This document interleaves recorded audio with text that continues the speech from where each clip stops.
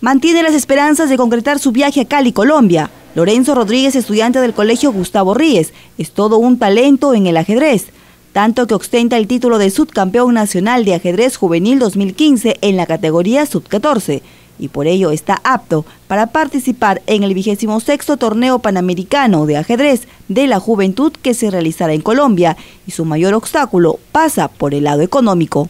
Quiere este viaje, eh, tú estás tocando puertas, ¿verdad? Sí, estamos tocando puertas a la gerencia regional y a la Municipalidad Provincial de Trujillo para que nos brinden un poco de apoyo para el torneo y también mi colegio está que me apoya, el colegio Gustavo Ríez está haciendo campañas y actividades para apoyarme en mis fondos económicos. Fue también tricampeón regional de ajedrez La Libertad Sub-12 y Sub-14, entre otros títulos.